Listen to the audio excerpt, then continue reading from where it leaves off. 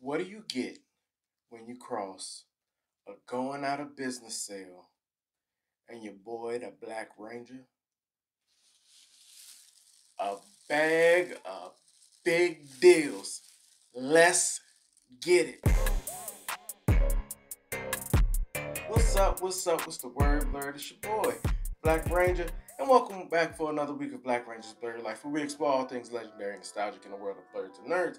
And yes, you guys took a trip to the great store Pandora's Cube. I've mentioned it a few times, been there a time or two, but they are actually going out of business, and they're actually out of business right now as I'm recording this.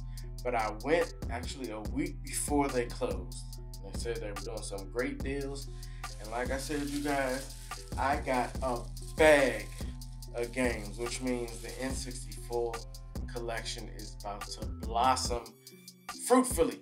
So before we hop on that live footage, just want to say thank you for stopping by this week. If it's your first time, you've made the right decision to enjoy the blerd life with your boy and everybody else. Again, we just had, like to have fun here. And right now we're on the road to a complete set of the N64 journey, and this trip is going to help out a lot. Got up there with my boy, Video Game Votary, and we did some hunting. So let's check it out. Yeah. All right, y'all. Yeah, Pandora's Cube. It is. They're going out of business, y'all. As you can see by some of the shelves being empty, and then the the Nintendo champion himself going for the complete Wii set, VGV. Y'all, y'all see the fit? You know I'm saying the fours. You know what I'm saying? UMD. Yeah, that, that, that's what we do out here. Sad to see him go, but y'all know what I'm here for. The N64. We gonna come out of here with some some nice stuff, y'all. Let's see what we can do.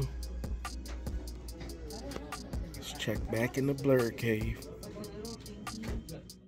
All right, all right. So that was just a quick little snippet of us roaming around the store and checking some things out. But as you see, I got a stack here full of games. So let's jump into what we got. First, we're gonna jump into something non N64.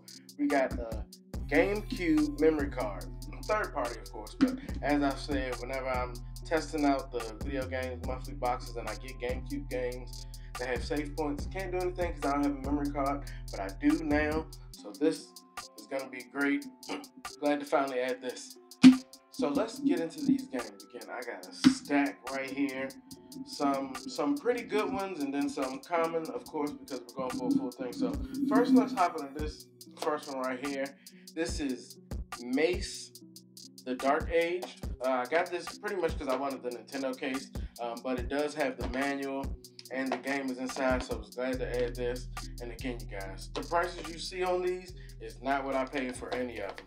I got super deal uh, at this going out of business. So next we have Elmo's Number Journey. Of course, gotta have those Sesame Street titles, and you know Elmo was very big for a long time. All right. Then next up we have Roadsters. It's like a racing title, obviously. Um, so we add that, and then we got a beat up but still working copy of Blues Brothers 2000. Next up, we have Lode Runner 3D. Add that in. All right. So, making some pretty nice headway in the N64 journey right now, you guys.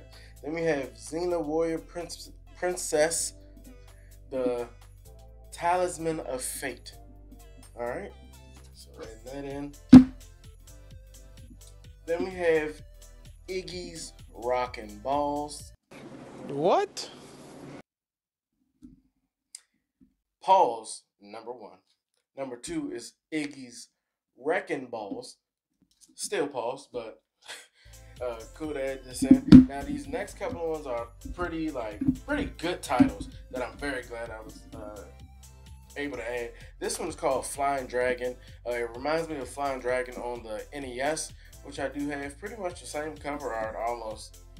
But um, definitely really want to check this out. Speaking of checking it out, you guys, we will be soon starting to upload and go live with gameplay. I do plan on playing every N64 game on the channel. So be on the lookout for that. We're gonna go through one life, one death, one race, whatever it is. We're gonna go through, and we're gonna do it that way. So look out for those coming soon.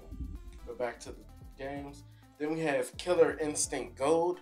I know you can't tell because the label is trash, but it says it right there. They did have a box copy of this, but it was like 160. That's a lot of money. And even after the deals, I still didn't want to have to pay uh, anywhere near that for that.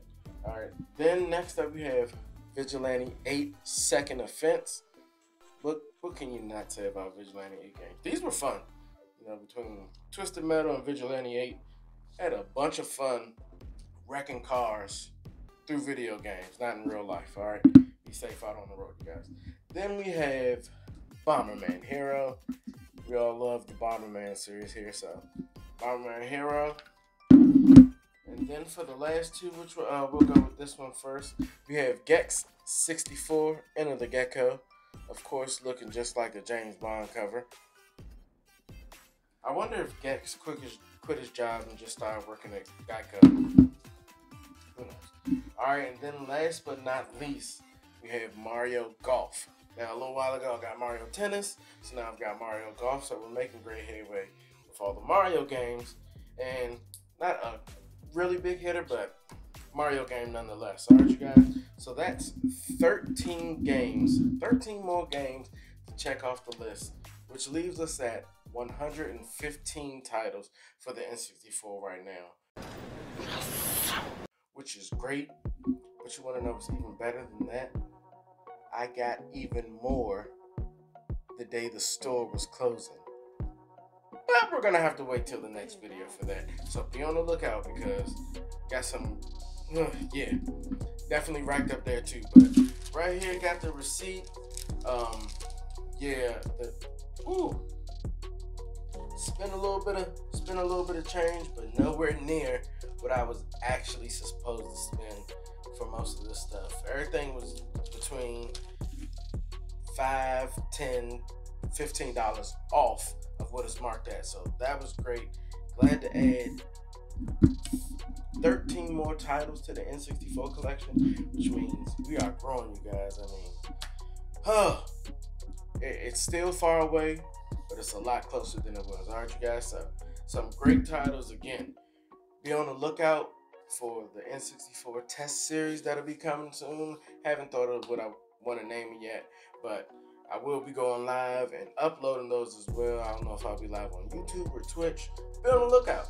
I'm gonna upload all the information so you can come and enjoy the blerd life live and we can have a conversation, you guys. All right, so thanks again for stopping by. YouTuber of the month for September 2023 is over, but it's all good. Great contestant one. one of my boys. We actually went against each other in the Girth Tuber of the Year competition last year. So glad that it went to a great deserving person again. You can go check out October's nominees for YouTuber of the Month and just give those pages a look. There's some great people out there. Love spreading the view for smaller channels like myself and all the rest of them. Aren't you guys? So, again, thanks for stopping by. I hope you're looking forward to what else I got for the N64 coming up soon. And I hope you're just having a great day and a great week. Special shout out right now to Drinking Games with Josh nominating me for YouTuber of the Month. He had some health issues going on, but he's doing great. Glad to see him back making videos and just back in good spirits. All love for you here, bro, and all love for all of you out there. Thanks for watching. As I always say, love up on your family and friends because you never know what could be the last time. We're just gonna keep enjoying this third life together, baby. Alright? BlakRanger out. Peace.